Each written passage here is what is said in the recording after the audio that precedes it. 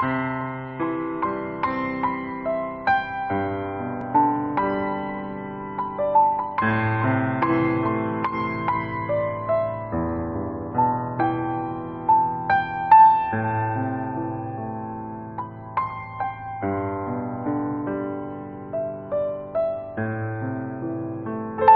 sáng hôm nay người cà phê anh sao đáng lạ thường sáng hôm nay nơi lòng anh nghe như dối bời, em khỏa không.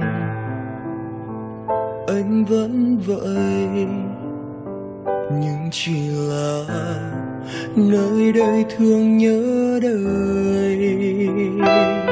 Những gì ta có mong manh như cánh hoa hồng dài bên phố anh sẽ đổi tất cả để giữ em ở lại. Thêm chút em đừng đi. Đừng đi. Ở lại dù một giây. Kỷ niệm đó anh giữ trong veo như màu mây anh thấy là đôi mắt thấp thoáng đâu đó nhưng buồn giờ sao anh vẫn vậy em giờ sao